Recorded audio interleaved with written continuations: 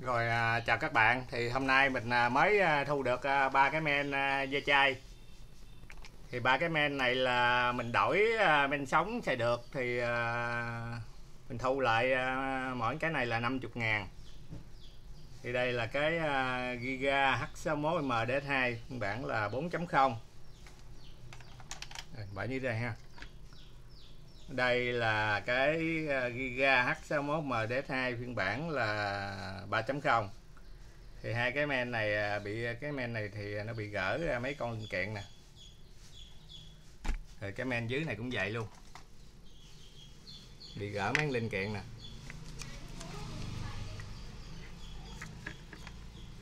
Thì để mình test thử ba cái men này coi có thơm không.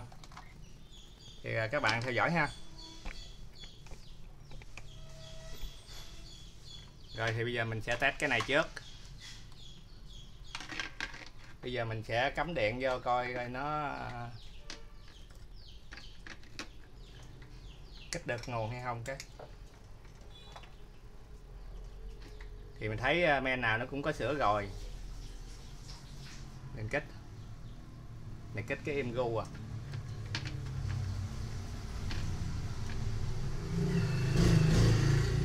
Đây thì à, vẫn còn kích được. Thì mấy men này à, không gắn pin CMOS vô phải à, rút điện ra gắn vô hai hai lần thì nó mới à, ấy lên được đó. Đây thì để mình gắn siêu vô thử coi nó có báo ga báo gì không.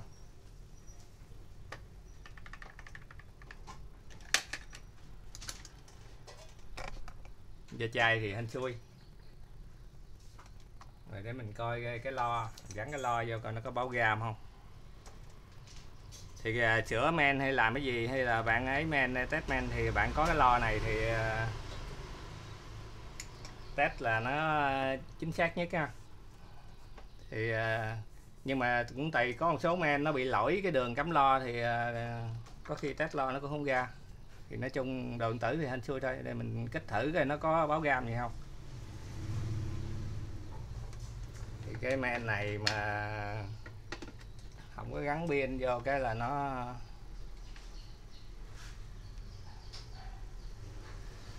nó phải rút điện ra gắn lại á.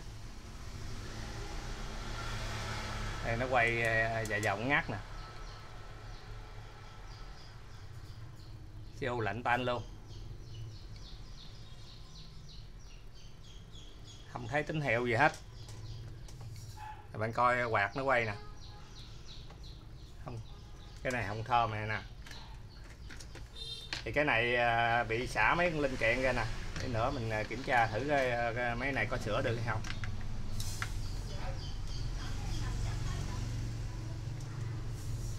Rồi thì à, mình bỏ nó qua một bên. Gãy siêu kìa.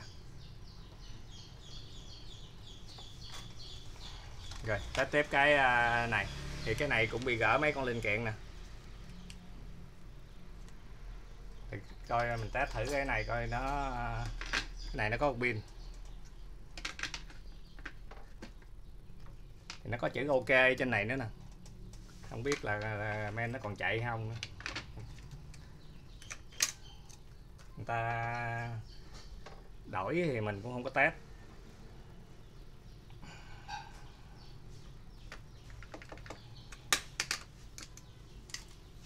Có khi nó chạy nhưng mà nó bị lỗi gì đó thì nó không hên xui. Để, để, để mình à, quên. Gắn cái lo vô cái. Cách thử cái ha. Đây thì cái men này thì nó vẫn còn kích được mặc dù nó bị gỡ mấy con linh kiện ra nè. Gỡ trên này hai con linh kiện với hai con linh kiện đây nè. Này vẫn còn báo gam được nè ha. để mình gắn gam vào thử rồi nó lên không. Rồi, gắn cái màn hình vô luôn. Cách thử đây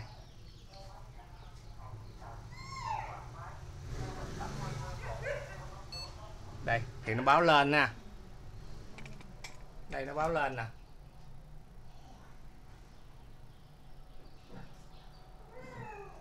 Dù nó bị gỡ mấy linh kiện rồi mà nó vẫn lên nè. Cái men hồi nãy á, thì à, nó cũng gỡ mấy linh kiện giống vậy nè. Nhưng mà nó không lên. Rồi thì à, mình à, bỏ nó ra bên cái này lên nè. Để nữa mình sẽ test kỹ nó lại coi coi nó có lỗi gì không. Lên thì à, có khi nó chạy à, hồi nó tắt rồi nó nói chung mấy men này nó nhiều bệnh lắm nha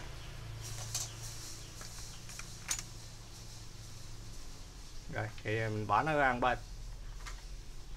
Test thử cái à, cái 4.0 này. Nãy giờ mình test hai cái 3.0 rồi. Giờ mình test thử cái 4.0 coi nó có lên hay không. Kích được nguồn hay không. Giờ mình sẽ kích thử nha. Cái này kích được nguồn nè. Quạt quay đó. Để mình à, gắn siêu vô.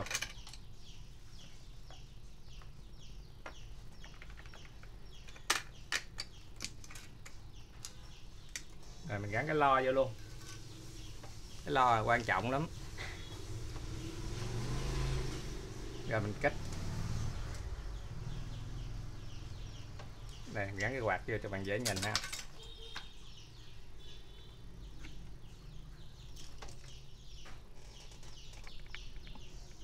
Quạt quay nè, quay dài vòng tắt.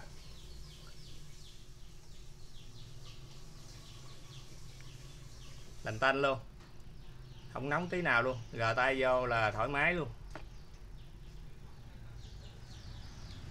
Thì à, ba cái men à, Giga H61 MDS2 thì à, nó có một cái là chạy được. Có cái nó có để chữ ok nè. Này của khách để ha mình không có gỡ mấy cái linh kiện ra nè. Đó thì à, hôm nay mình chia sẻ cho các bạn như thôi thì mua da chai thì à, dạng hên xui.